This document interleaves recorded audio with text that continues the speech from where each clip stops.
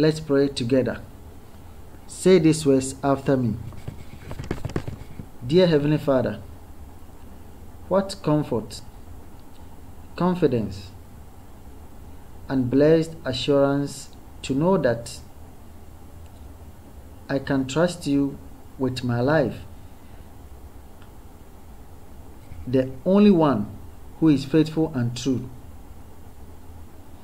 The future belongs to you. Therefore, I put myself into your guiding arms under the lordship of love,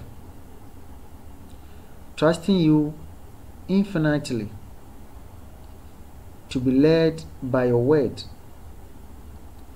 and your spirit. As I fulfill my destiny in you, in Jesus' name.